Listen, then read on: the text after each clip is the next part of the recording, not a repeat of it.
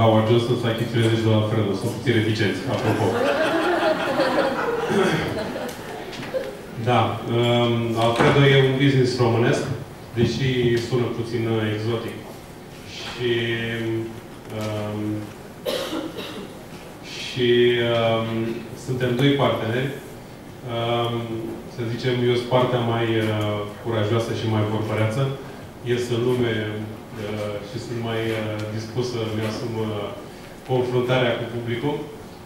Um, și um, așa am două vorbe despre business-ul nostru um, și despre um, ideile care ne-au condus uh, aici. Uh, aș vrea să încep uh, spunându-vă că um, cred că primul lucru la un antreprenor este să se descopere pe el și să își descopere talentul.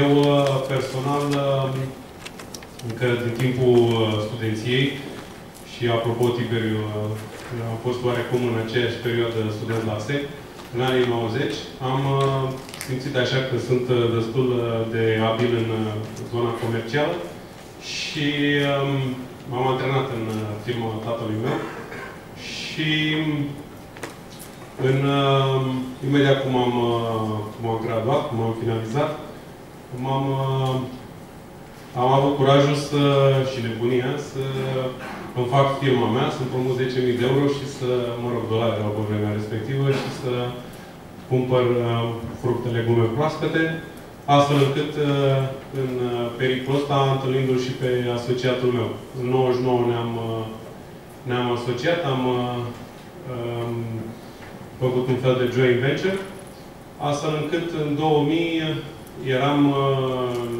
luptineri, luptineri în uh, business-ul acesta. Este o zonă în care multă lume se uită la noi așa și îmi spune, da, dar cum stați voi cu economia neagră acolo, cum rezistați voi? Și pot să spun că singura soluție e găsirea nișelor și în permanent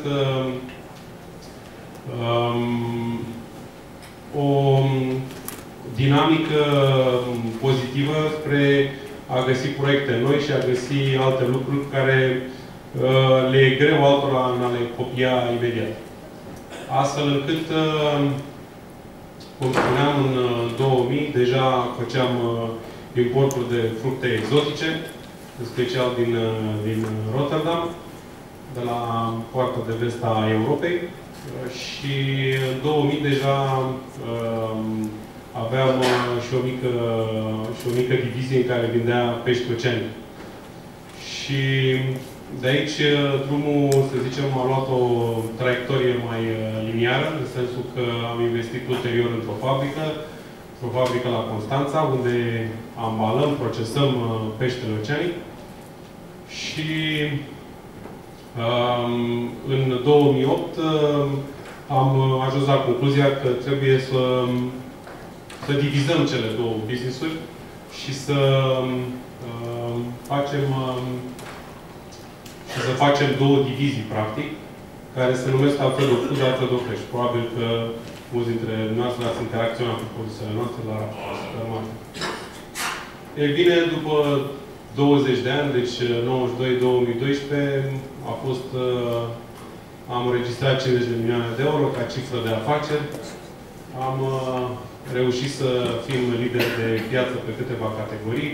Funcționează aici ananasul, și, um, mă rog, um, acest produs e, vine de undeva departe, Costa Rica, America Latină și așa mai departe. E, o, e un produs care e greu de, de făcut și asta iar ne, ne diferențiază de ceilalți. La, um, la investiții. Investițiile um, Așa cum zicea și domnul Șahar, am evitat uh, nice to have-urile, am încercat să fim, uh, uh, să facem doar acele investiții care au, au trebuit neapărat făcute. Bineînțeles că am mai, am mai și greșit, dar asta a fost lecție pentru următoarea exercițiu. Și la și noi ne axăm business-ul nostru, încercăm să să ne gândim la consumator permanent și Încercăm, spre exemplu, în divizia de food să aducem un produs sănătos la un preț economic. Și ținta noastră ar fi, să zicem, persoanele 30 plus, 30-60, familiștii. Și um, până acum am, am reușit chestia asta și asta ne face să credem că ar trebui să ne uităm și la cei mai tineri, la cei care uh, vor produse refrigerate, produse uh, care sunt servite în restaurante, în hoteluri. Din acest motiv am ajuns să aducem mangustine, creveți și alte, și alte lucruri exotice. Um, cum spuneam, Coreca uh, pentru anul ăsta l-am bugetat cu 10%, e cifră de afaceri. Este singurul uh, uh, segment uh, care nu a scăzut pe timp de criză. Nu știu, știați asta, nu? Uh, și uh, cred că cred că în zona de, de fresh avem uh, uh, din studiile noastre avem niște clienți mai tineri care sunt undeva între 20 și 40 de ani, cu educație și venituri uh, peste, peste medie. Um,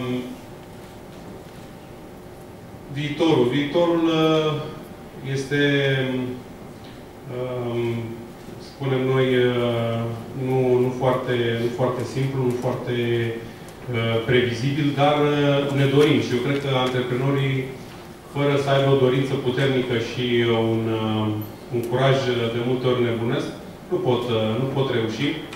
Ne dorim o platformă comună în care să reunim cele două companii și în care să facem uh, lucruri specializate, lucruri care ne diferențiază de, de, de clienții de competiție și de, și de, știu eu, de mari, marile multinaționale, care uh, între noi, antreprenorii fiind uh, vorba, în ultimii ani ne-au dat, ne dat de furcă, în sensul că um, foarte multe produse uh, au venit uh, din companii occidentale, de acolo unde veneau și mari retailer. Um, cred de asemenea că uh, referindu-ne la idei, la ideile de afaceri, eu cred că uh, la început uh, Uh, sunt idei simple, idei uh, puține, dar odată ce investești și timp și energie, ideile ți se cristalizează. Ideile îți vin și uh, apare la un moment dat și, și viziunea. Um, de asemenea, un antreprenor, părerea mea e că trebuie să fie un om serios și onest. Pentru că dacă, dacă odată, de două, de trei ori poate merge Uh, cu uh, adevărul pe jumătate spuse.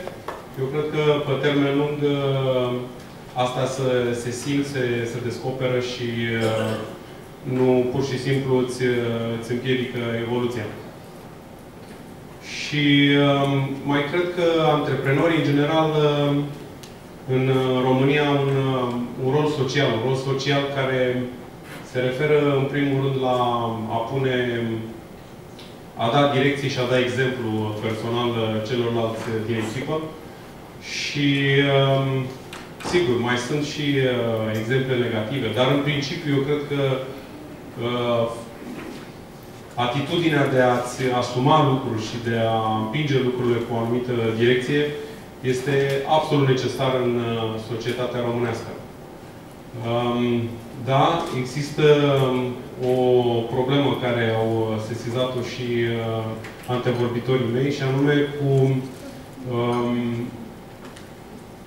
coagularea um, antreprenorilor români uh, în asociații și în a-și uh, pune puncte de vedere comune.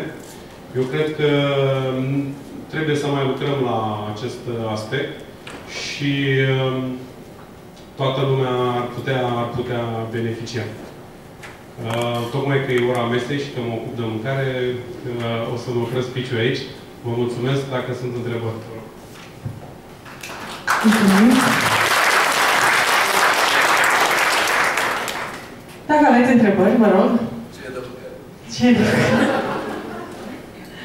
Bine, atunci vă mulțumim pentru încă o sesiune care a fost mai lungă, e drept. Vă invităm la masă și urmează fiscalitate pentru antreprenori după masă, ultima sesiune. Mulțumim!